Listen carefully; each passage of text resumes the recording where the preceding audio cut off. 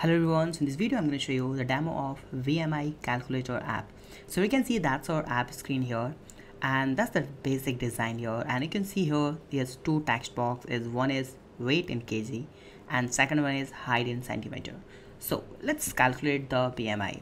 So let's weight it suppose my weight in kg is suppose 60 or 70 something like this okay and for the height i'm gonna just put the 170 is my height okay in a centimeter. Now click on the calculate bmi button and you can see here the BMI is 20.76 and in the background you will see the green color. It means your BMI is good.